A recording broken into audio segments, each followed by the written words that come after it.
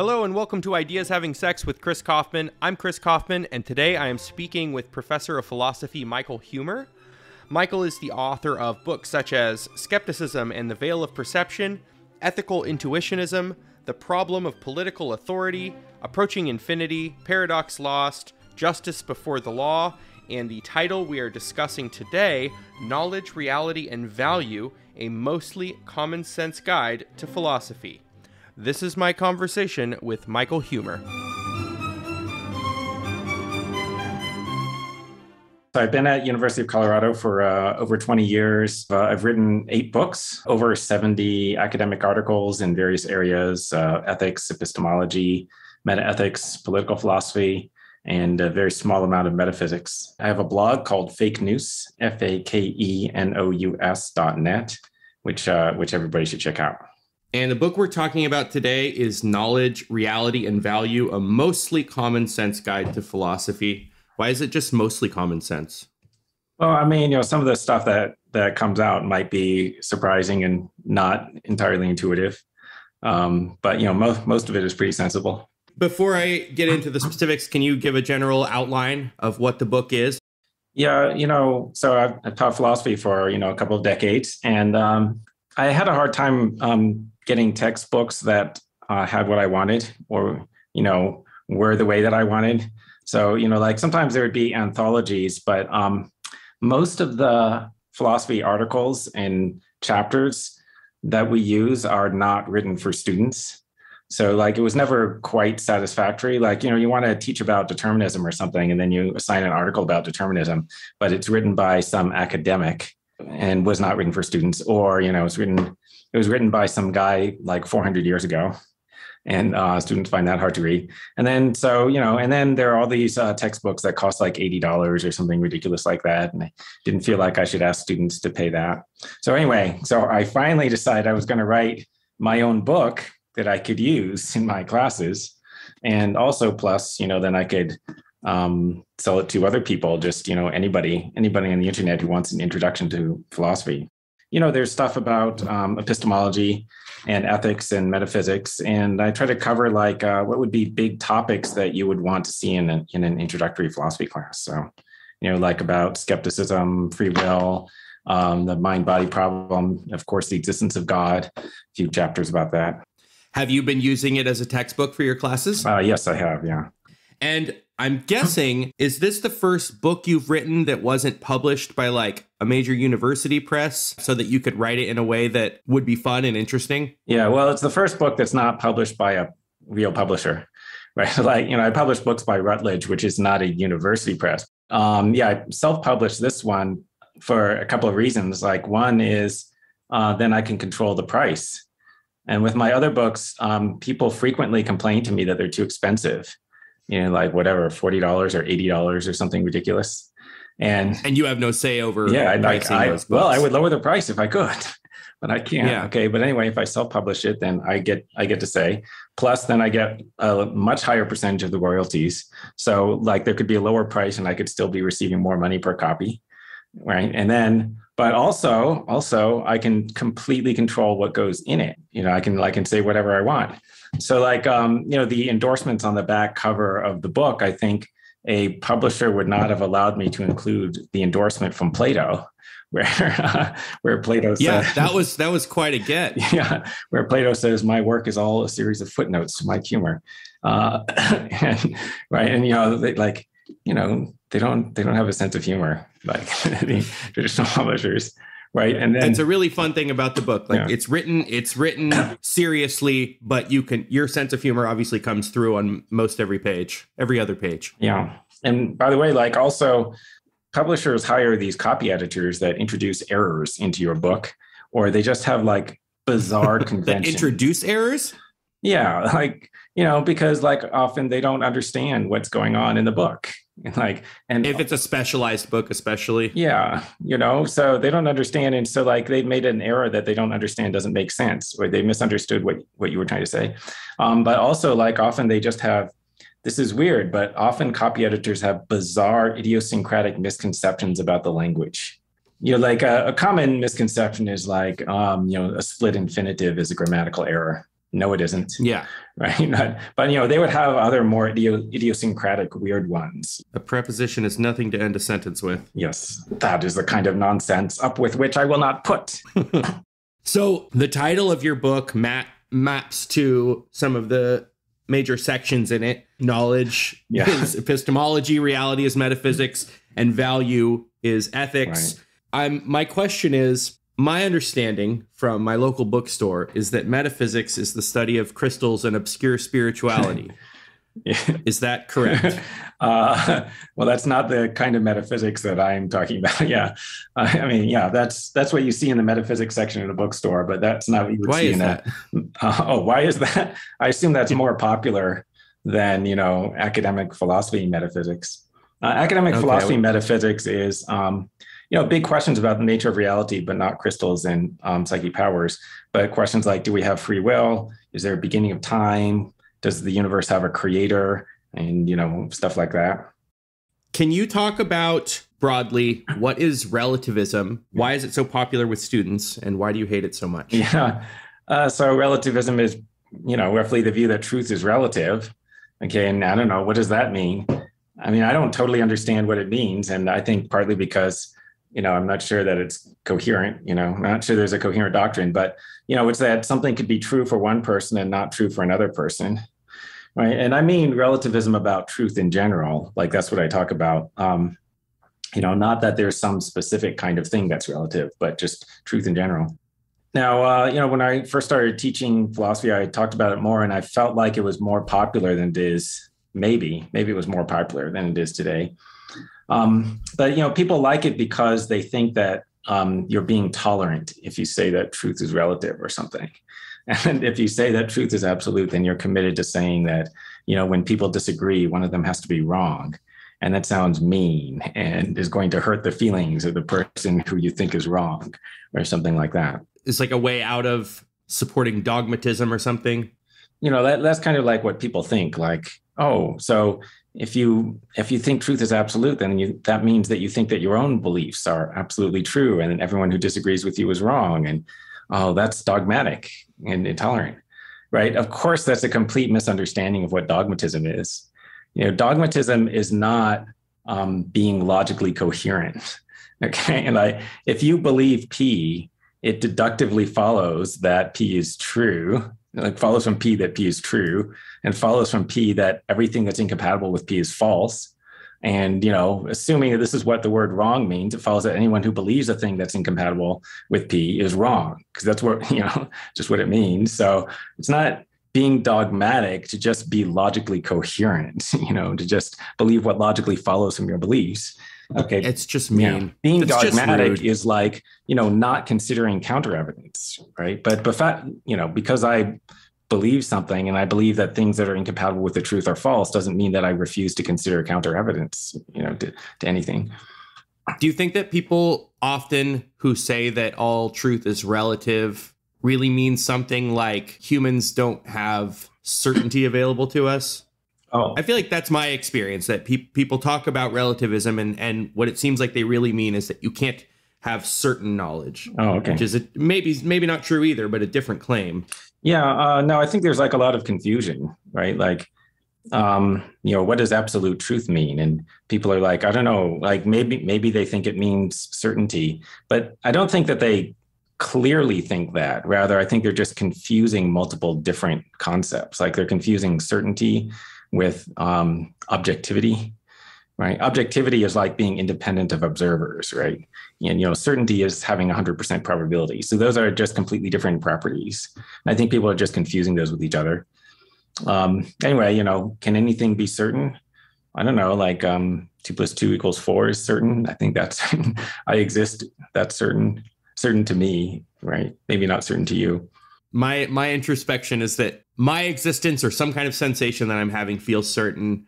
Sometimes I think that like logical truisms or ma- simple mathematical facts seem certain to me, but I I feel like coupled with the the the idea that it makes sense to me is also some feeling of like understanding. I, I could imagine having that feeling uh, foisted upon me in a dream or or by some kind of radical confusion or something. Yeah. So I don't know. I mean, it's just just shy of certainty for me.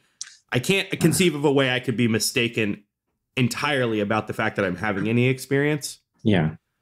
Yeah. I mean, so you can have a feeling of certainty and be mistaken. So that's surely true, right? Almost certainly yeah. true. um, right. But, you know, can it be, can you be mistaken that you exist? So no, you could not, right? Um, it doesn't seem that way. What's the difference between relativism and skepticism?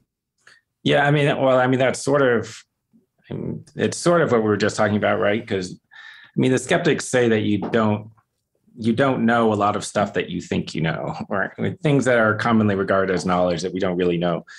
Um, the most extreme skeptics say that nobody knows anything, and uh, more, you know, a little bit less extreme skeptics say, well, we don't know anything about the external world right? Or, you know, like we don't know stuff about the world outside of our own minds, right? Which is a more popular form of skepticism.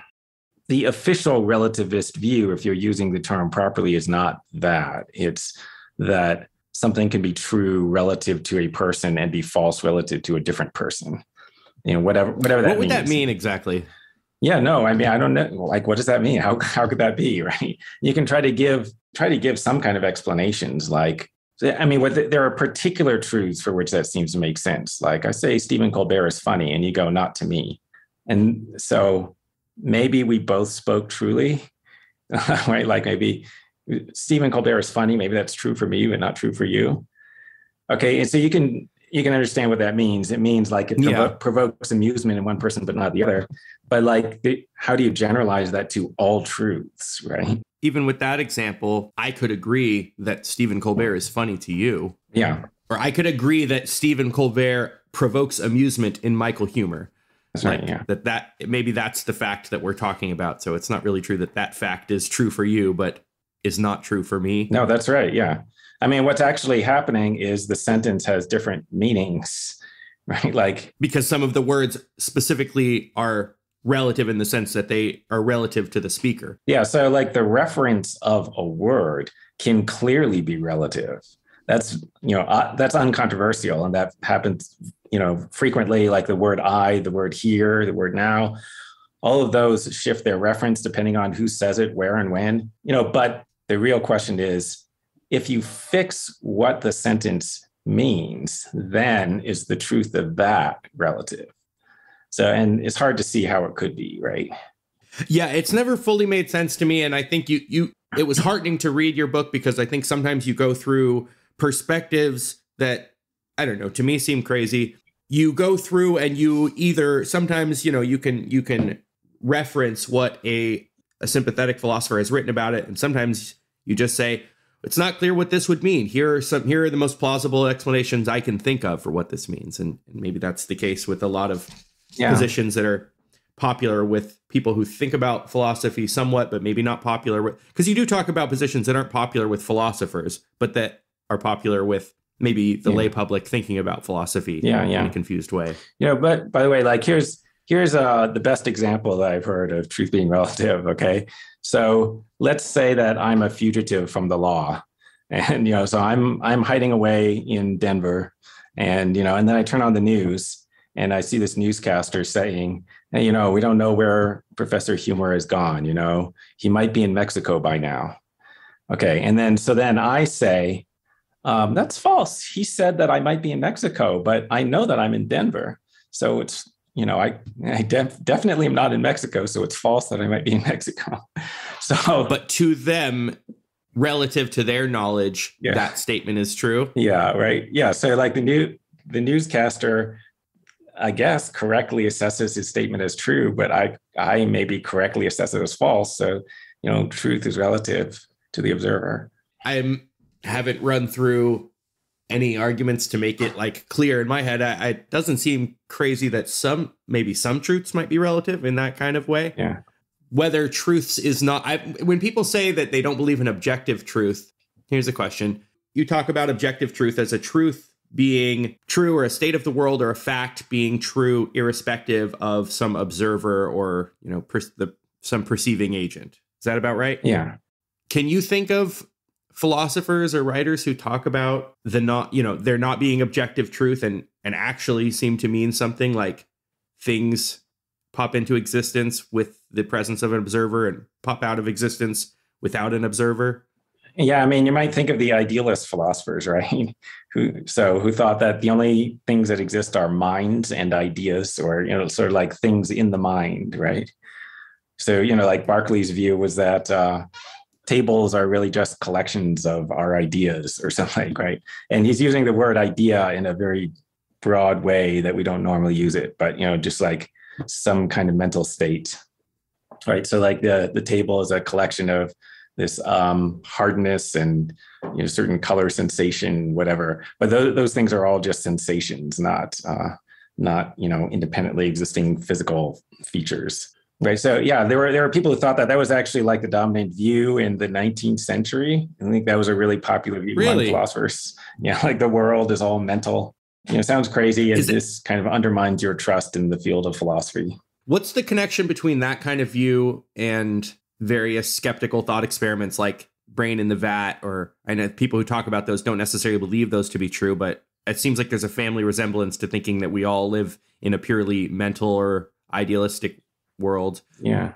Not in the sense of being like an ideal but yeah. in the, in the sense you were talking yeah, about yeah. the specialized sense. Is that similar where yeah. to yeah i mean those the, kinds of thought experiments? Yeah in fact like you know when berkeley was writing he was like um I, I guess people would accuse him of being a skeptic right and then so you know in his in his dialogues he has like a, one of the characters accuse the other character of being a skeptic and then mm, if they, he accuses the idealist of being a skeptic the idealist explains that no i'm not a skeptic because you know i'm not in doubt about whether there are material objects. I definitely know there's no matter. Right?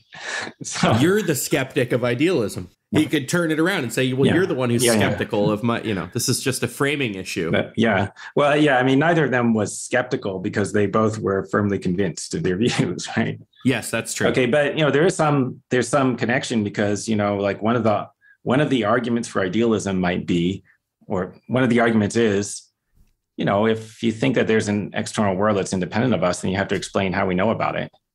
And like if there's no account of how you would know about these things, then maybe you shouldn't be positing them. Can you wait? Can you explain that again? I'm not sure if I caught that. Yeah, so you know, like traditional realists, so you know, the opposition is between realism and skepticism, where the realists think that there are physical, the physical world is independent of the mind, right? And so like an argument for idealism is that well if you're a realist then you have to explain how we know about the external world and it's really hard to explain that. You, you know the realist has to confront the skeptic and give an answer to them and the idealist doesn't have to give an answer to the skeptic right? Because he's not claiming that we know about these mind independent objects. Okay. Okay yeah that makes sense. So if the skeptic is faced with if the, can you can you explain the brain in the vat hypothesis? Yeah, I'm talking about? If the skeptic is is faced with that there, or if the idealist is faced with the brain in the vat thought experiment, they have a different out potentially? Yeah. Yeah. I mean, so, you know, like according to modern science, your experiences are caused by stuff happening in your brain. And so you could imagine scientists of perhaps the not too distant future keeping a brain alive in a vat of nutrients and like there are a whole bunch of wires attached to the brain to stimulate it in exactly the pattern that a brain gets stimulated when it is perceiving the physical world normally right and like they can scan the brain to see what kinds of intentions the brain is doing and how it's attempting to move its its body that it thinks it has. And so that mm-hmm. they could modify the simulation you know to make it look like the brain is moving the way that it thinks it is. So that you could create a, a in theory create a perfect illusion right? Create a perfect virtual reality. Uh, and so then and you know like maybe maybe these scientists of the future would create this uh, simulation of somebody listening to a podcast, you know, with some weird philosopher talking about a brain in a vat scenario. And so they could just have, like have a chuckle when the person thinks, "Oh, that's ridiculous." Right? So anyway, so then the question is, how do you know you're not a brain in a vat right now, or some analog of that? Because that's that's just like one, you know, or a computer program, or you talk about, yeah. you know, the possibility of of dreaming or just being deceived in some important way by a super advanced alien hypnotist or something like that. Yeah, yeah, there's different variants on this. You know, more popular recently is um, to hypothesize that maybe we are uh, simulated beings, like all reality is a computer simulation, and we're just like you know computer programs, parts of the computer program that are simulated people. Yeah, the version I heard is that if if you believe that our technological progress will, will continue, it's plausible to think that at some point in 100, 200, 300 years, we could have the technology to do that, to create a conscious being and simulate it in a something like a computer program. And like modern video games, you might be fun to make movies or recreations of interesting historical times. Well, the, this is an interesting historical time. Uh, what are the chances that we happen to be the real pen, you know, 2020 pandemic era civilization rather than one of the dozen simulations made 500 years from now. Yeah. And some people seem to actually believe this. Yeah. You're you're going you go over in in the book in a way that feels tell me tell me if this is not your perspective that these are interesting thought experiments that you hear and they sound scary, they sound obviously wrong, but it's not obvious where to poke a hole in them and that makes you want to stop and say, okay, what what's going wrong in our thinking? Or maybe something's not going wrong in our thinking, and that's just a, a real possibility. Is is that the way you think about it? Yeah, I mean, you know, like these are like the reason why I'm I talk about these things is not that oh, you know, maybe maybe we're in a simulation or maybe we're brains of that. That's not really the reason. The reason is to think about the concept of knowledge, right? Because it's surprisingly hard to explain how you know about the external world and like you can construct these arguments that have like there's plausibility to all of the premises and then they entail that you don't know anything about the external world. So what you want to do is like figure out you know what went wrong. Like you know where where is the inconsistency in my belief system? You know i have beliefs I have beliefs about knowledge that entail that i don't know anything about the external world but i also think that i know lots of things of the external world. So you want to try to like you know fix your belief system to make it more coherent. You went through several arguments against these kinds of thought experiments and some I was reading them and sometimes thinking like yeah I guess that kind of makes sense but I I don't feel the pull of it. The only the first one that I read and I was wondering if you could if you could describe it that I felt an intuitive like oh yeah that's right. That's why I'm not a brain in a vat was Moore's argument. Yeah. Am I remembering the name yeah. And maybe that's just subjective to me that that one felt punchy and strong, or maybe it felt like it threw into relief like why it's silly to entertain a really crazy hypothetical like that when it's inconsistent with other beliefs. Can you can you explain what that argument or what that type of argument does? Yeah, I mean, so there, like there's a type of response to skeptical arguments that can be applied to like a wide range of crazy philosophical arguments, um, known as the Moorean response, the Moore the GE Moore shift, right? And by the way, like yeah, that's right. Yeah, on the on the internet, you can find like a song about the GE Moore shift by the 21st Century Monads. Um, okay, I'll do that. Yeah, but so let's say somebody gives an argument for um, skepticism, right? So let's say the argument is, you know, if you know that you have two hands, then you must know that you're not a brain in a vat.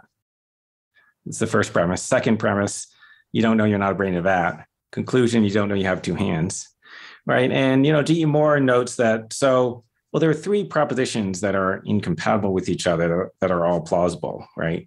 One, I don't know I'm not a brain in a vat. Two, I know I have two hands. Three, if I know I have two hands, then I know I'm not a brain of that.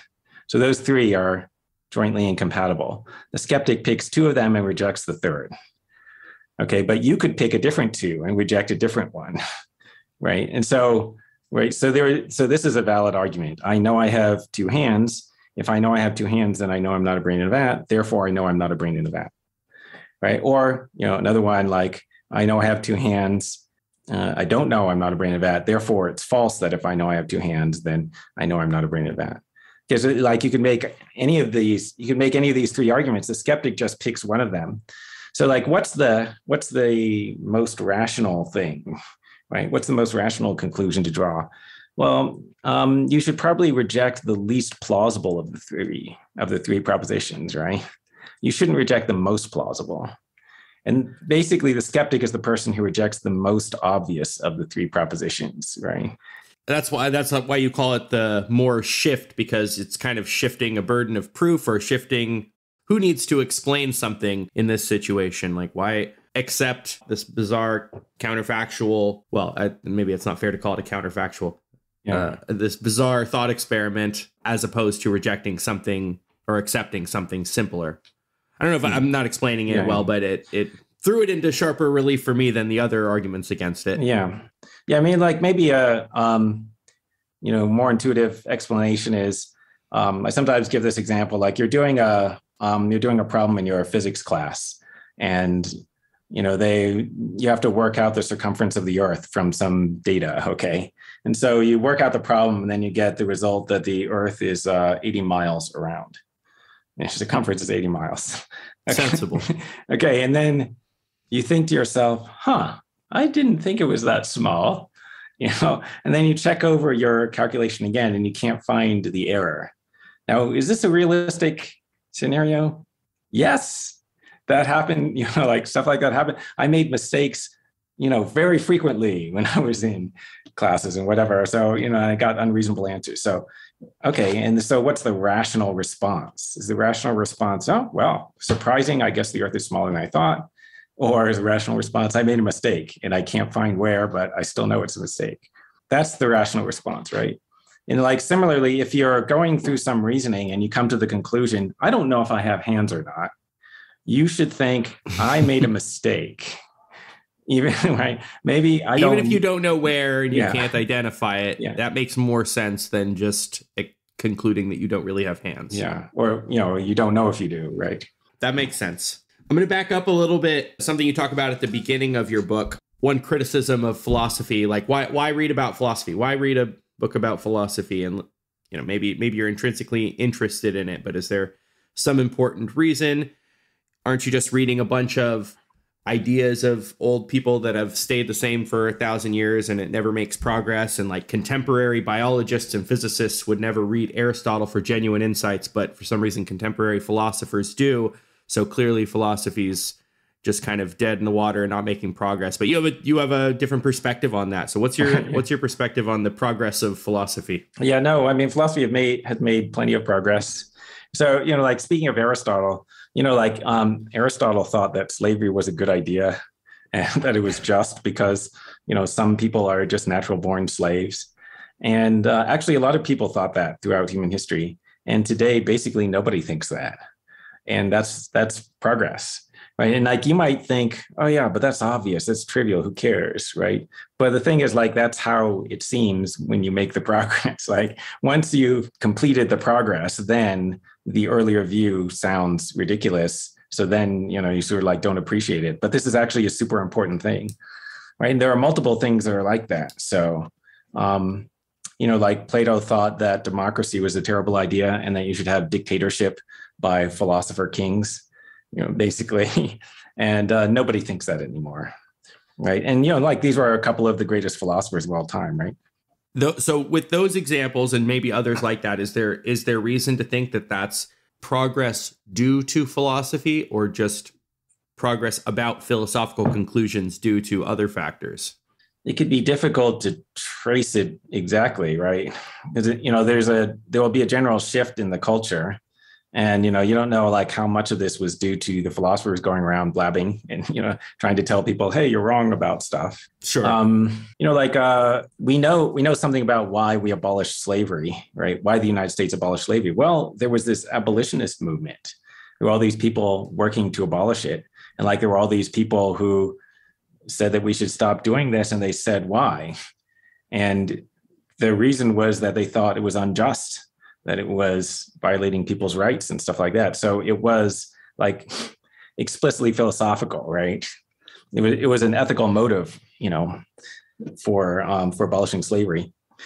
Yeah, that seems right. If you push that back a step further and ask why, you know, why in all this time did it take so long for any any even semi decent anti-slavery movement to form? You know, what explains that? I mean, maybe that's not fair to just keep pushing it back because you've you've you've named a clearly philosophical motive. But even that seems like it could plausibly be philosophical, like the spread of ideas with you know books becoming and literacy becoming more popular and people understanding I don't know different human perspectives. Yeah, you know, like um, a lot of this stuff seems obvious to us now, and a lot of the things that people were doing in the past just seems stupid. Um, but you know uh, that's that's the way it was. So you know, like in the Middle Ages, they thought that uh, torturing people was a good way of finding out information. So, like torturing somebody until they confessed to a crime, that was a good way of verifying that they committed the crime. And like, that's just so stupid. In addition to being barbaric, right? like, you know, in addition yeah. to the intrinsic awfulness of torture, was also just a, like a really dumb idea. At some point, people figured out that this doesn't work. You know, this is not a good idea. What about in non-moral subfields of psychology? Uh, philosophy. Progress that's been made over, or sorry, yeah. What did I say? Yeah. philosophy. yeah. Uh, yeah. Outside of outside of moral and political philosophy, um, you know, I mean, like, of course, there's been progress in logic.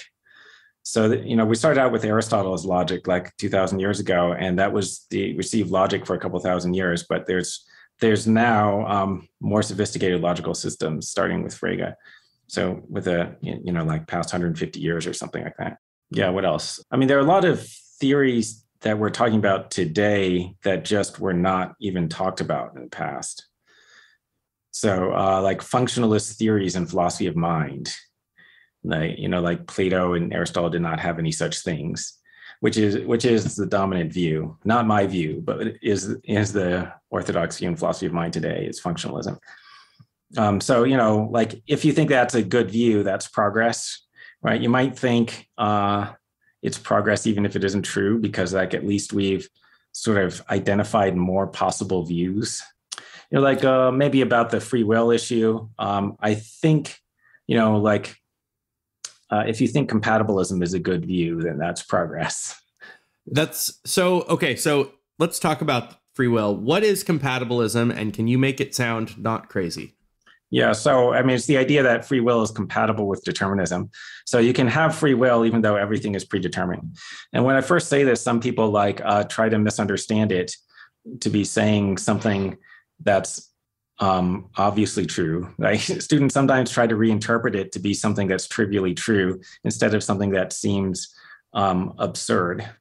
Right? What would be trivially true about it? Yeah. So, like, students interpret it to mean, well, maybe some actions are predetermined and other actions are free. No, oh. that's not their view. Their view is every action is completely predetermined, and also some of them are still free. It's still, you still have a choice about what happens, even though it's completely predetermined. Okay. Now, so to most people, that sounds contradictory if that didn't sound contradictory, then you didn't understand what I said, right? But anyway, like, um, yeah, why why would people think this? And so, like, they try to give explanations of how this would be true, and there are semantic explanations. So they give explanations of what the word can means or what the word free means. So um, maybe saying maybe I can do X just means if I tried to do X, I would succeed or something like that. If it means anything like that, then it's compatible with determinism that I can do multiple things. Like there could be, mul- but there just is only one series of things that you will try to do. Yeah, right. I will do only one thing, and that could be determined by the past and the laws of nature in advance. But it's true that if I tried to do something else, I would have succeeded. It's just that I'm not going to try to do something else because, you know, like the past and laws of nature have determined that I won't try to do the other thing. But if I did, I would succeed. So I could do the other thing in that sense, right? Okay. And then you have to have an argument about whether that's really what can means. Aren't you saying in that case that it's it's impossible for you to try to do something else? Well, um, if you say, "Oh, what does it mean?" Okay, what you know, can you try to do something different from what you actually try to do? What does that mean? Then they say, well, that means that if I tried to try to do something else, then I would try to do something else. That could also be true.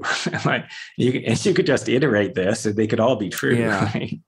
Um, but still true that you know only one course of events is consistent with the past and the laws of nature. Anyway, and then a, like a related thing, see if you find this more plausible. A related thing that they like to say is, you know, to be free means um, that your actions are caused by internal causes, by your own desires and beliefs or something, and not by external forces. And so you can give some examples that make this sound plausible, right? Like uh, this dialogue that I got from the compatibilist philosopher W.T. Stace. It's like, you know, he imagined somebody saying, I once went without food for a week. And then you say, Did you do that of your own free will? And then person says one of the following things yes, uh, you know, I did it because I was on a hunger strike. you know, to uh, to get the British government to leave India. okay, now that makes sense. Or imagine the person saying, "No, I didn't do it of my own free will. I did it because I was uh, lost in the desert and I couldn't find any food." And like both of those sound natural, right? Yeah. And notice that the difference is not the person doesn't say yes, I did it for no reason whatsoever right? They say yes, and then they cite the explanation, but the explanation appeals to their own values and beliefs or something. And then in the other case where they say, I didn't do it of my own free will, they appeal to external constraints. Right. And so maybe the real difference between free and unfree actions is like not whether they're caused, but how they're caused. If they're caused by your own values, desires, goals, whatever, versus external constraints that prevent you from doing what you want. And in that explanation, I mean, it, it, that's an explanation that's trying to rescue free will as a concept. Yeah, I mean, yeah. It so. seems like it seems like it gets you a pretty impoverished view of free will. Or in that case, what's what is special or interesting about the concept of free will as opposed to other things? It's just it's like I could come up with a special word for things that are caused internally by my computer's programming. It's yeah. not caused by me. If I push it, that's external. But if the program is causing stuff to happen internally. That's yeah, yeah. computer will. It just seems like I'm making up a special word. Yeah, I mean, yeah. So notice that on this account of free will, there's no obstacle to robots having free will. And you might think that that is um, maybe that's a counter. Maybe that's a counterexample. Like, right? Like intuitively, you know, you have a robot that is completely following this algorithm, and it always follows the algorithm you might think that is not a plausible case for free will. But it could be true that if the robot had tried to do something else, it would have succeeded. It could be true that the robot's action is caused by you, know internal states that represent goals and you know representations of the world within the robot's computer brain or whatever. So I mean, you can understand why we would want to make a distinction between actions that are explained by uh, internal causes versus external causes. Like somebody um, somebody killed another person, it matters if that was because they wanted to kill the other person. I think it matters to whether we should punish them or not. And so, like, it matters to what we should expect to happen in the future with that person. No, it, it does matter. And, and I, I, maybe intuitively, the reason it seems like I would want to draw a distinction or about free will as opposed to other kinds of causation is because internally it subjectively feels like I could do one of multiple things and I'm I'm choosing things. And I feel constrained by the external world. I also feel constrained by my own thoughts and and goals, but I don't feel constrained in the same way. It feels like there's a range of real things that I might do. Like there are things I know I would never do, but I might take a drink of my watermelon sparkling water right now, yeah. or I might not. And that feels like I could have gone either way on that, and it was my choice. Yeah and I didn't do it because it seemed funnier not to do it after I picked it up. I don't know. Yeah, yeah, or you know, maybe maybe for no reason, right? Like maybe for no those reason. were equally good options. Yeah, I mean, so why do we believe in free will? Like one reason is it just kind of seems like, you know, very very frequently in normal life, it seems like you could do either of two things or multiple things. I want to jump into a little bit on the section on ethics but before that, I wanted to talk just a little bit about the epistemology section. And I haven't said, can you say briefly what epistemology means? It's a weird word that most people don't know. Yeah, you know, it's the branch of philosophy that addresses philosophical questions about knowledge, like what is knowledge and how do we know the things that we know? Or do we, in fact, know the things we think we know and stuff like that?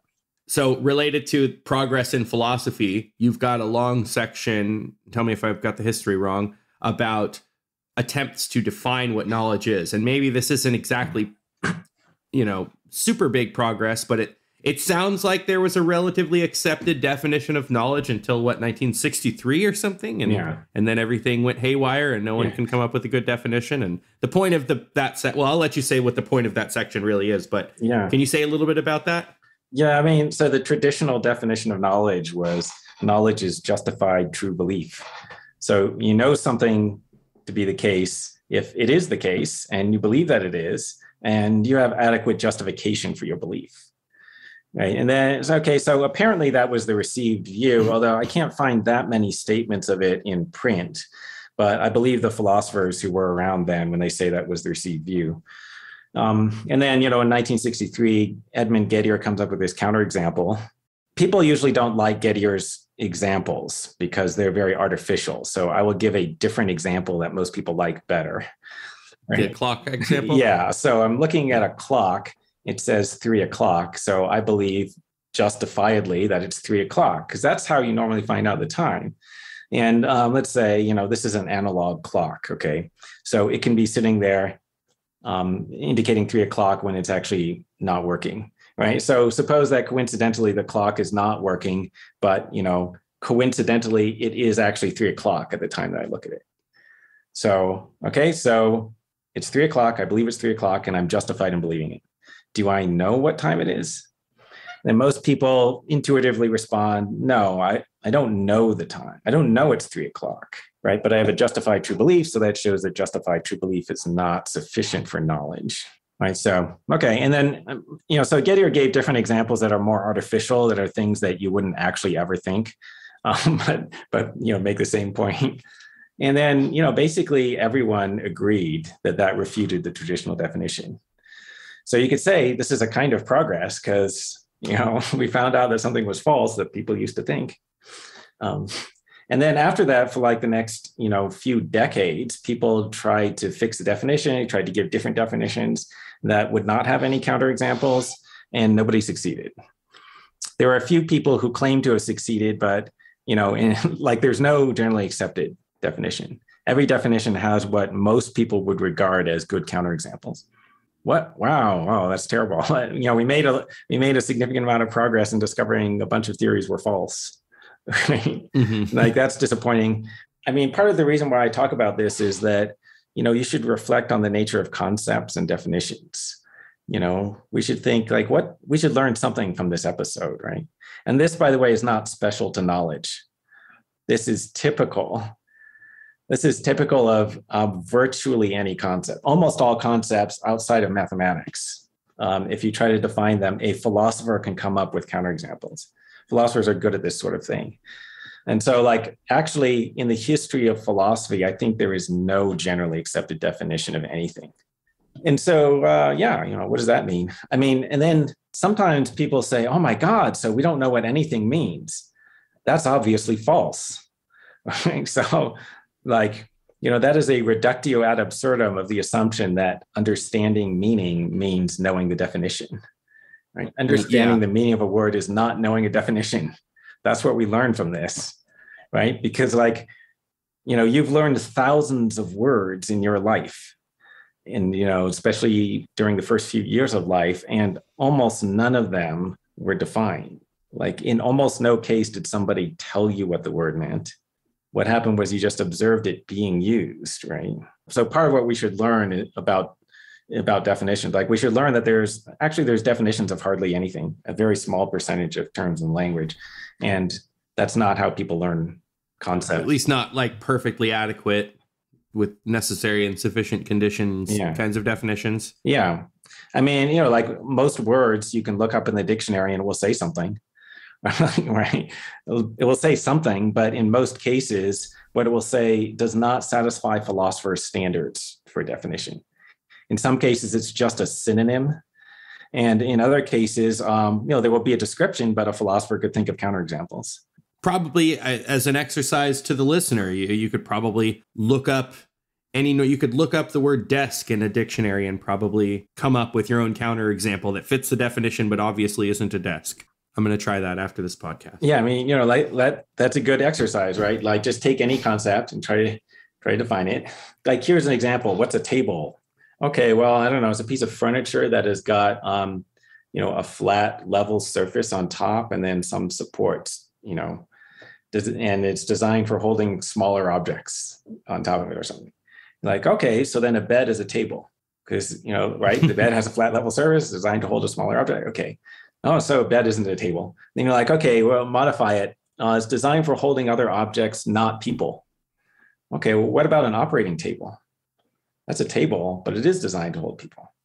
like, you know, you can go yeah. on. It's like, well, you know, why is it like this?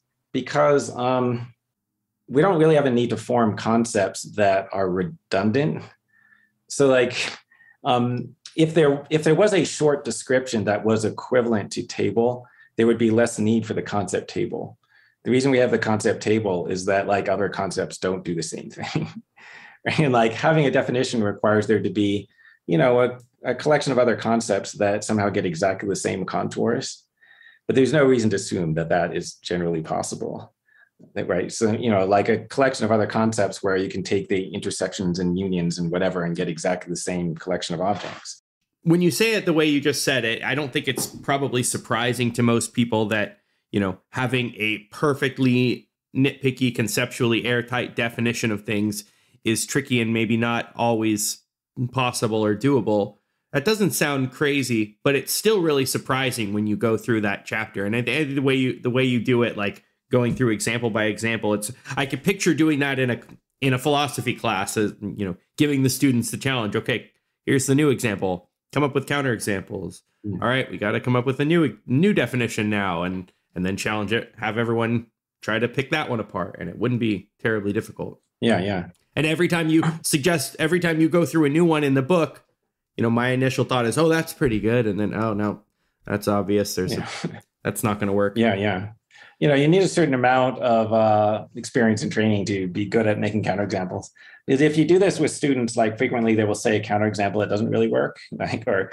or they'll say one that's like really controversial that like presupposes some controversial view that the student has or something or that's just like wildly dis- maybe it works but it's wildly distracting and confusing right yeah that, that's yeah that's a thing that frequently happens like um you know people will just like rate they'll give something that's sort of on the topic, but this raises some huge other issue, right? Which you don't really want to do. Well, on that note, what's the purpose of hypotheticals in philosophy, and why do so many people seem to have such a hard time uh, accepting and reasoning with hypotheticals? Yeah, I mean, you know, so this thing about um, the thing about defining concepts is related to why we use hypothetical examples. Um, in my view, understanding a concept is not knowing a description of the concept. Rather, understanding a concept is having appropriate dispositions. So uh, when you when you learn a word, you try to imitate other people's use of the word, which means you're tr- you try to use it in circumstances that feel similar to the circumstances in which you've seen the word used in the past. And when you get the appropriate dispositions to apply the word, that's when you understand the concept. So, like, I understand the concept of knowledge when I have the dispositions to call something knowledge that roughly match the dispositions of people in my speech community. Okay, and so, um, and so, like, the way to access your concept and like, you know, get the correct contours of it is not to ask the person or to ask yourself for a description of it. The way to sort of access the concept is to imagine concrete scenarios, like as if you were encountering this particular case, and then see whether you feel disposed to apply the word knowledge. Right, like having the uh, disposition to have linguistic intuitions about cases, that's what the concept consists in. And you can't necessarily directly introspectively observe your dispositions, but what you could do is like activate them by describing a particular scenario and say, "Oh, does this work? Would I if if this happened, would I say, "Yes, I know this to be true." Yeah. I have knowledge in this case. Yeah. So, you know, like so this is one of the reasons why we do hypothetical scenarios, right? And so and for this purpose it does not matter if the scenario is realistic. Like we're not saying that these things are going to happen. That doesn't matter, right? Like, and that that fact seems to d- divide people there just seems to be a type of person i don't i think it's a psychological difference who is just really off put by the use of hypotheticals in general, but especially unrealistic or bizarre hypotheticals. Yeah. Yeah. Maybe it's just that it's too distracting. Like the, the, there's a point of the hypothetical to focus your attention on the, you know, philosophically relevant point you're trying to explore. But if I give you a hypothetical that is a bizarre science fiction scenario involving brains and vats, that's just going to distract me and make me my first reaction is, what the hell does that have to do with anything? That's so unrealistic. Not my first reaction, yeah. but a lot of people's. Yeah, no. I mean, like one thing you might think is, well, thinking about a scenario that doesn't happen, how could that tell us about the actual world? um, because you know you're just like you have premises that are about some alternative weird possibility. How can such premises legitimately lead to a conclusion about the real world? Um, but uh, in fact they can right? Like you can easily think of valid arguments that start from hypothetical premises right? So like if a then if b then c but not if b then c therefore not a right? The, right you know both hypothetical both you know conditional premises. Part of why it's useful is that you're trying to understand a concept or like this is one thing that you might be trying to do trying to understand a concept also trying to understand the reasons for things right? And so like you can test a claim about like the reason why a is true is b. You can test that by imagining other situations in which b is still true and then asking whether a would still be true and it doesn't matter if those other situations were actual or not or realistic somebody says yeah you know like the the reason why um, it's okay to um, to torture and kill animals for food is that we're a lot smarter than them. And then I say, okay, so if that's true, then if there were an alien species that shows up on Earth and they're a lot smarter than us, it'd be fine for them to torture and kill us. And so doesn't matter that there isn't such a species, right? The point is like the claim about the reason why we get to do something implies something about other situations that haven't actually happened. And the hypothetical is supposed to focus your attention on the morally or philosophically relevant details yeah and not on extraneous details and yeah right yeah sometimes you need um an un sometimes you need an unrealistic hypothetical in order to get rid of um, details that exist in the actual world that are distracting you from the issue right I think about it like a scientific drawing. I remember being in high school and learning how to make a scientific illustration. And one of the points was don't be super detailed if you're if you are like a biologist or and if you're out in nature and you're trying to draw a new species or something like that there's no reason to get into super nitty gritty details of drawing like say the dirt that it's on you want to you want to just give a, a rough outline so that someone can get the the important points of what you're trying to convey too much detail distracts you from yeah. from the purpose. And if you look in a science book and you look at scientific illustrations, they're relatively simple line drawings. I mean, they look good, but I don't know. That's how I think of philosophical hypotheticals. Yeah, no, that seems right. I want to jump in just just for a little bit to the the last section. Well, not the last section, second to last section on ethics in the book. Can you just talk a little bit about the difference between you have uh, you go over consequentialist theories, ethical theories, and deontological ethical theories. What's the difference between consequentialism and deontology? Yeah, so you know, consequentialists think that the right action is always the action that produces the best consequences. You know, maximize the good. Um, a, a popular slogan is "the ends justify the means." You know, like any any action could be justified if it produces sufficiently good consequences. Uh, and the deontologists are just not consequentialists. Deontologists just think that's not the case. Now, um, does vir- is does virtue ethics? I don't think you had a section on virtue ethics. Does that fit into deontology um, in the way you just described it? I mean, yeah, I guess it counts as deontological the way it just defined it. Yeah, the vir- virtue ethics is supposed to be a third alternative, but I'm not sure that there in fact is a third alternative.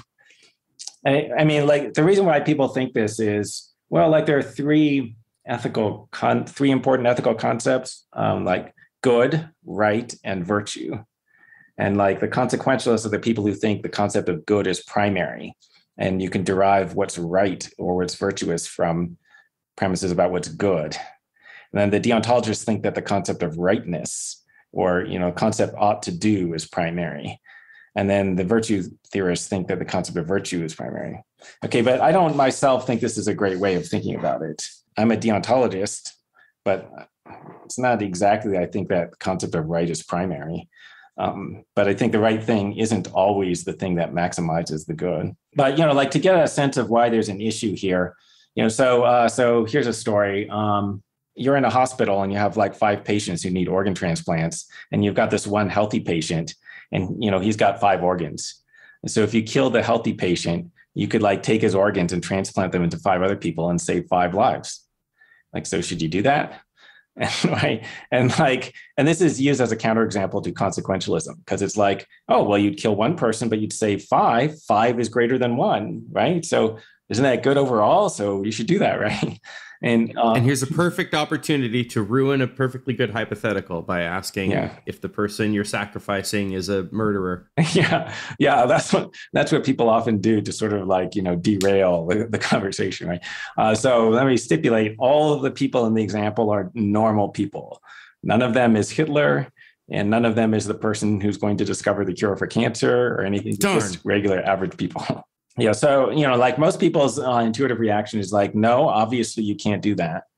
Right. And so then deontologists say, so that shows you that you shouldn't always maximize the good don't always do the thing with the best overall consequences right like there are some moral constraints on how you're allowed to treat other people even if you would be producing more good overall At some point, you say you're you you just said you're a deontologist or, or one of a soft deontologist. Uh, Yeah. you, you had a distinction, but you mentioned that you're not a utilitarian in the book, but that you've grown more sympathetic to that view over time. What can you say a little bit about that? Why have you grown more sympathetic to it? well uh, yeah i mean when you when you think about it like you you see puzzles and you know problems created by common deontological intuitions you know th- you think about things like okay so according to deontologists like you shouldn't murder one person even if that would prevent two murders all right but suppose that you saw somebody so you're a like third party observer you see somebody deciding whether to commit one wo- murder to prevent two other murders. You know however this works just assume that that could happen. Uh, what would you hope happened? So you know that either one murder will happen or two murders will happen. And you know as a benevolent person surely you should hope that only one murder happens. So you should hope that the one person does the thing that on your view is morally wrong and then okay so they, i don't know that's a little weird but then you know then let's suppose later you get in that same situation and then it seems like you should hope that you yourself do the thing that you would hope the third party would do. Like when you're the third party observer, you hope the person kills the one. And then if it's you, you should hope that you kill the one. Right? And And it's, it seems that way. It And seems then- like a, a, tension, if not a contradiction. yeah. And then if you if you should hope that you do it, then shouldn't you just do it? Right. So yeah, so there's something weird about this, right?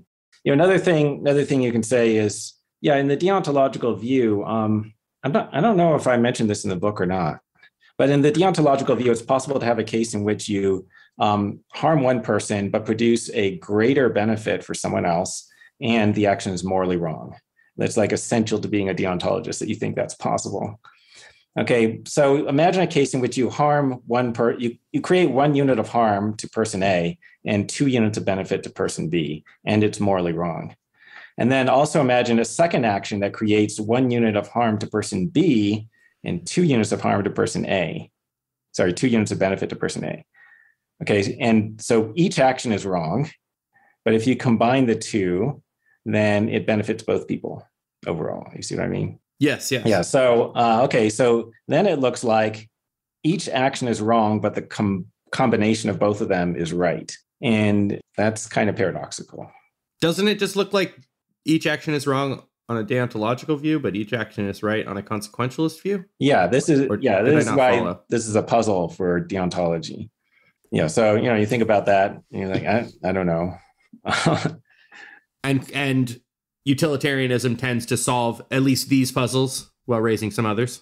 yeah. Yeah. I mean, utilitarianism doesn't have any paradoxes like that, right? It just has uncomfortable implications. Yeah. Like, you know, like you kill the healthy patient to harvest the organs. Yes, and some utilitarians bite that bullet and say, "Yeah, well, I guess that's what you do.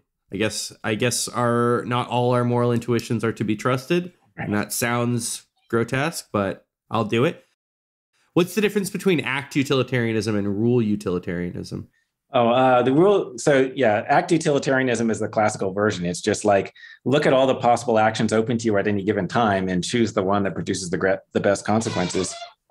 The rule utilitarians say, no, what you should do is like look at um, systems of rules and you should choose the system of moral rules that would produce the best consequences um, if it were generally accepted or something like that. And then you should follow those rules. You're not looking at the consequences of each individual action. And then the rule utilitarians are supposed to have um, answers to things like the organ harvesting, right? Like they're supposed to think, well, if you have a general rule, don't kill your patients, that's better than a general rule that says, yeah, kill patients when you can produce benefit for other patients, more benefit for the other patients. It seems like one like an issue that occurs to me with rule utilitarianism is that it is there any is there any principled way to say like at what level of granularity the rules need to be specified? Because maybe you have a general set of rules that doesn't allow that kind of thing it doesn't allow murder and that basically recreates you know a decent amount of deontological ethics in a certain way but but one of the stipulations of the rule is that no one's allowed to murder except someone in this exact circumstances who could get away with it and blah blah blah and then you have a very inelegant set of rules but that is still slightly maximizes slightly more utility because it allows for this Yeah. and you could always just add one more silly caveat like is there a principled way to avoid that problem or i'm sure it's been addressed Yeah, yeah. So, I mean, this would be an objection, right? Like, do you do you allow exceptions in your rules? Like, it could still be like you know that exception is part of the general rule yeah. So, if you say no, no, no, you're not allowed to have except not allowed to have any clause that says except such and such. Okay, you're not allowed to do that. Okay, but then that produces a really implausible view, right? So then now you can't have exceptions to you know the rule against killing people. So now, like you, you know, you can't can't allow killing in self defense because that's an exception. yeah. Uh, so you're like, okay, you can you can allow exceptions, and then you're like, okay, so why not have this exception? You know, no killing except if you happen to have five patients who need organ transplants, whatever, et cetera. Um, and then you just reproduce the same consequences. act utilitarianism. Okay. Um, so the rule utilitarian would have to have some story about like how the rules get chosen. They might say, well, you have to look at rules that could plausibly be the socially accepted morality of a society, of a nor of like a society made of normal humans or something like that. Right. And so like um, you know, maybe maybe that requires it to have a certain level of generality. But why appeal? Like, why do they get to appeal to reasons that aren't themselves utilitarian in, in deciding what kinds of rules fit in with the with rule utilitarianism?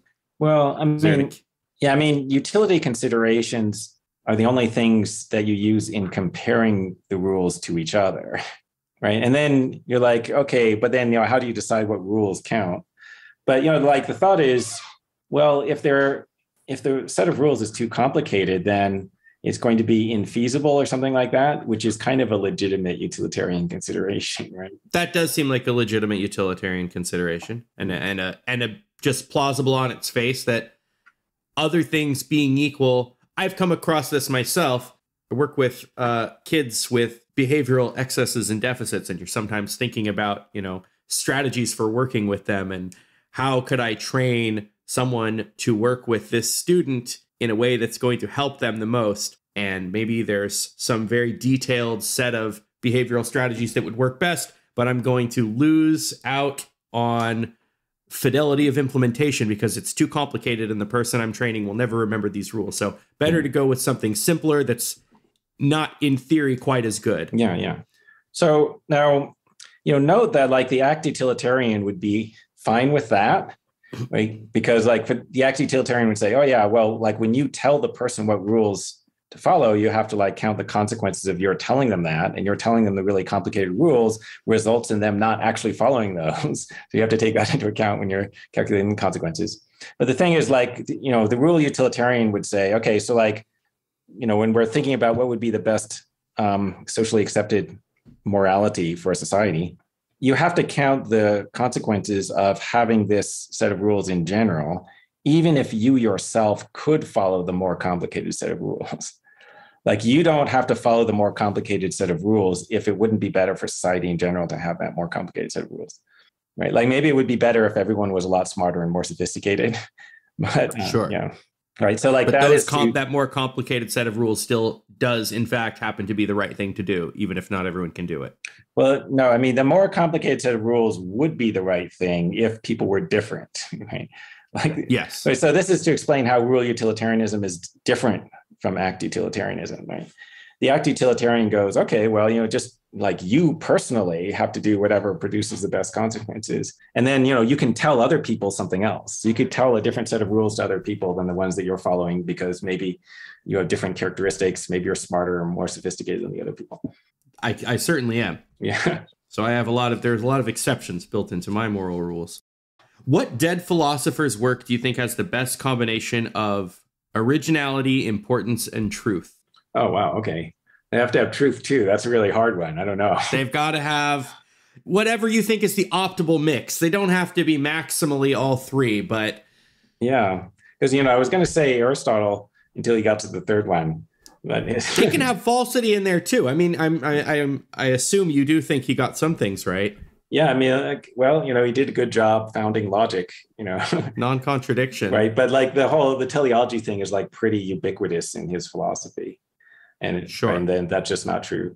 Uh, you know, I like Thomas Reid, but I mean, like, I don't know, is he super? He's not super original, right? Because he's like, you know, he's ma- mainly defending direct realism and common sense. So I don't know, that's not that amazing. Uh, Descartes is pretty great. Um, wait, what were the three originality?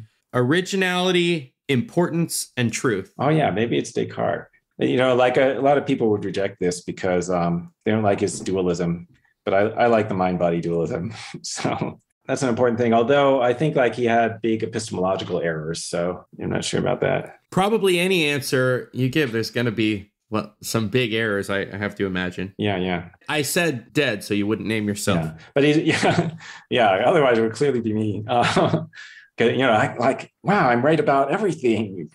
What are the odds? I can't find a single mistake, you know, in Huemer's work. Um, no, but you know, like so Descartes is super important. He's often referred to as the founder of modern philosophy, where you know by modern we mean like you know since the 1700s or since the 1600s, right? That's what counts as modern. Does the word modern in philosophy have is the same like historical referent as in history? Oh, uh, I'm I'm not I'm not sure how historians use modern. There's like three. I think there are like three events that roughly all kind of ring in the modern era. It's like the the Columbus landing in the New World, the fall of the Eastern Roman Empire, and the Protestant Reformation. Oh, okay. All kind of hit within like 50 years of each other or something, and are supposed to ring in the modern era around 1500 ish. Oh, okay. So I guess that's consistent with what I know of philosophers' usage. The first, the first of the moderns is Descartes, in you know history of philosophy classes. Because you know we have ancient history where you do plato aristotle and you know sometimes the weird other guys. Um, and then and then you have medieval philosophy where you do aquinas and a bunch of weird other people. And then you do modern philosophy where you start with descartes and then you know go up through kant i think okay i'm going to ask you the same question but just about moral philosophy still has to be dead important original and accurate w.d ross so yeah, so he's an intuitionist, um, ethical intuitionist, and uh, also a, he has the right form of deontology in by my lights. Um, so he's, he's and a, you have a book called Ethical Intuitionism, t- taking some inspiration from Ross. Uh, I guess, yeah. I mean, yeah. So Ross has this book called The Right and the Good, in which you know he defends his intuitionism and also his views about just you know what's right, where he he's a pluralistic moderate deontologist, meaning he thinks there are multiple different things that you have some prima facie obligation to do, i.e., you're obligated to do these things if they don't conflict with one of the other prima facie duties.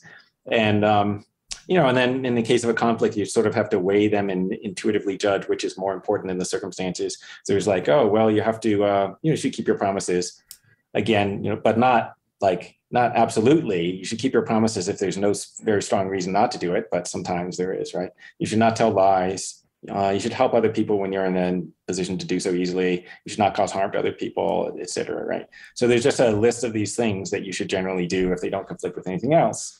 That's generally my view of ethics so that's pretty important I'll put the book you mentioned in the show notes as well, in addition to this book and your other books as well. I'll put them all in there. Buy all Michael Huemer's yeah, I've got books. eight books. Buy them all.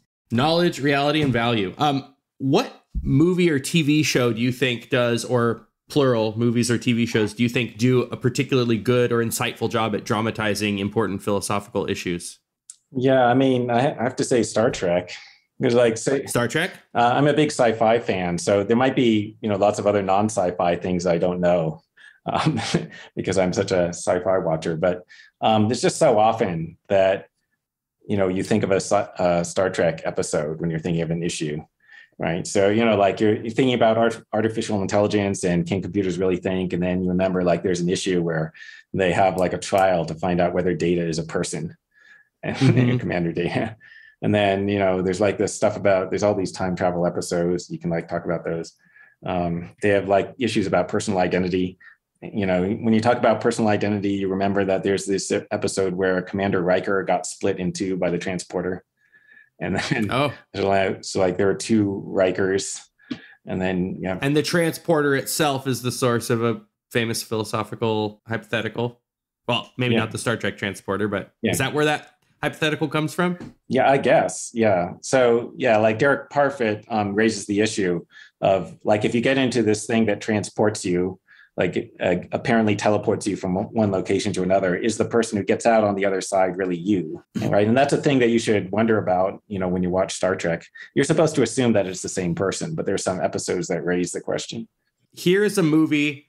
It's not a science fiction movie, so maybe you're not aware of it. Have you seen The Prestige? Yeah, but it was a while ago. I think the prestige. I, I don't know if it you know doesn't dive into it as deeply as it could, but I think it dramatizes that issue in an in an old timey way. Yeah, yeah, yeah. I remember liking it, but I don't remember the details of the plot anymore. There is a there is a grisly version of the transporter issue. I think dramatized in a yeah very fun way. I won't say more. Oh, uh, there's also lots of good ethical issues, right? So you have the like consequentialist versus deontological issues. Um, there's like the the episode in which Captain Picard has to decide whether to um, use this lone Borg that they captured um, to try to destroy the collective. They have something that's like the equivalent of a, a, computer virus that they can implant in him and then send him back to the collective. And then that would they predict that would destroy the Borg. Uh, and then he decides not to do it because it's wrong to use the one individual or whatever to treat them as a means or something. I don't know. Uh, but then there's a different episode in uh, Deep Space Nine where um, they sort of come out on the side of consequentialism, where um, there's the, ep- the episode in the Pale Moonlight where um, Captain Sisko winds up like he, he winds up doing all these shady things in order to bring the Romulans into the war against the Dominion. So he comes out on the consequentialist side. Yeah. And Picard's a deontologist. Right. Yeah. Yeah, Star Trek seems like like a pretty solid answer. Do any any movies come to mind? Non Star Trek movies? Oh, um, you know, like I taught philosophy and science fiction a couple of times.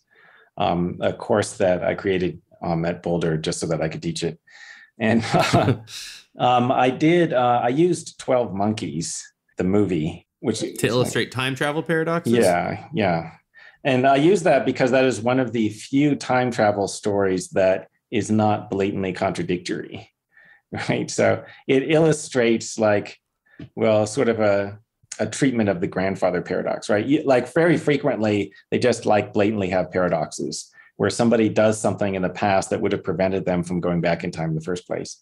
And in 12 monkeys instead everything fits together. Like every you know person goes back in time and everything that they do there um, helps to explain why the stuff that you saw in the future was the way that it was. And presumably that just continues as a cycle. You don't go around the cycle, it just happens, right? It's not described as a, as a time travel movie, but I think Galaxy Quest has a non contradictory form of time travel because there's a brief machine that essentially reorganizes all the matter of the universe to be exactly like it was presumably with the exception of one person one person exactly how it was 13 seconds ago. Uh-huh. And as implausible as it is, it doesn't seem to lead to yeah. traditional time travel paradoxes. Oh, yeah. I mean, so like one of my problems with time travel stories is that um, like they're directly contradictory because they depict something happening at a certain time. And then later in the show, they depict somebody doing something such that the thing that was originally depicted does not happen at that time. So it's a contradictory story. Did a thing happen at that time or not? Right. So like, you know, like the Enterprise encounters another ship, the Enterprise C, that comes through a wormhole through time. And then as soon as that ship comes through, everything on the Enterprise changes. And so now you're supposed to think, oh, so the entire past, whatever, 50 years or whatever, however long it was, is now different. Like, well, wait, what do you mean? Like, give me a coherent story. Did the things happen in the last 50 years or not? Did we have the war with or the Klingons? Everything literally right, and like yeah, they're saying or change. What they're depicting is like first we didn't have the war with the Klingons, and then we did have the war with the Klingons, and then later we didn't have it. but there's only like, but all at the same time in the same time period, right? So what they're saying is that in a, a single time period, this war happened and did not happen, and that's contradictory.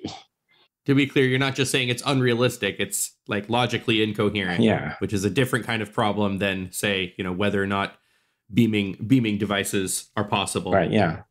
So you know, like uh, that's what doesn't happen in Twelve Monkeys. They don't depict anything happening two different ways. They're just like with the you know the first time and only time that whatever year happens that 1990 happens, it has a time traveler in it, and then you know, and then the events from there go you know lead forward in a logical way to make it so that a time traveler would want to get into the time machine you know, mm-hmm. in the mm-hmm. at the later time. Uh, what projects, if any, are you working on right now? Well, let's see. So I have a um, debate volume that I agreed to do for Routledge. It's a debate about skepticism. So I got to finish the debate about skepticism. So, oh, great! You're gonna you're gonna be the one to finish it. Yeah, I'm. Well, I'm the uh, I'm the non-skeptic. Editing. And the my co-author Bryan Frances is the skeptic, and uh, he just like he um, has sent me his latest part, so I have to write my reply to that. So I got to finish that up. Um, after this, I'm going to uh, I'm going to do a textbook about epistemology. Is it going to be like this self-published textbook? Yes. Yeah. So it'll still have your sense of your Mike humor in it. That's right. Yeah. You know, traditional okay. textbook publishers are annoying and. Well, that's exciting. I'll definitely check that out. Where can people find you if they want to see follow what you're up to? Uh, I have a website, owl232 owl232.net, and I have a blog, Fake Nous f a k e n o u s dot net. And then, of course, there's like an Amazon author page. I'll include those on the show notes as well so people can find you. So the book is Knowledge, Reality, and Value, a mostly common sense guide to philosophy. It's an awesome book. You should buy it. You should read it, as well as the other books. And Michael Huemer, thank you so much for joining me today. Yep, thanks for having me. That was Mike Huemer, and the book today is Knowledge, Reality, and Value, a mostly common sense guide to philosophy. To find links to that book and other topics discussed in today's episode, check out the show notes. And if you like what I do here, please subscribe to the podcast on Apple Podcasts, Spotify, Google Podcasts, or Stitcher. And please like and leave a review. That really makes a big difference, even though it's just a small thing. I appreciate it greatly. I'm Chris Kaufman. Thanks for listening.